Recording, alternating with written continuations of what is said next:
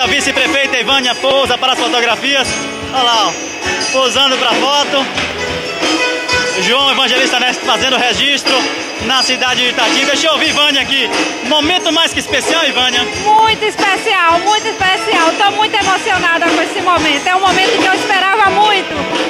A gente acompanhou outros municípios e vocês falam muito na família que é a base. Quando você falou da tua família, você chegou a se emocionar, porque a gente sabe que ela é princípio, é meio e fim, não é isso, Ivânia? Verdade, verdade. A família é tudo, é a base de tudo. Sem a família, nós não temos coragem de dar um passo a lugar nenhum. Ivânia, Ivânia que já vivenciou outras bandeiras políticas, outros grupos políticos mais fortalecida para assumir esse próximo quadrinho enquanto vice-prefeita? Já disputei duas eleições como candidata a prefeita, mas dei um passo para trás para me aliar ao doutor Gilmar, porque eu sei que assim era a chance de chegar como vice-prefeito e o futuro a Deus pertence.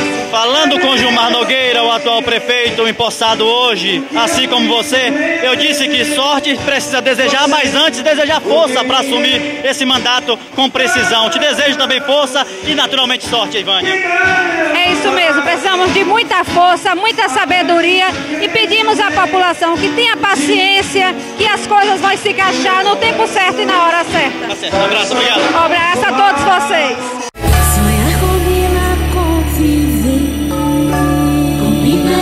tudo com você. Criativa.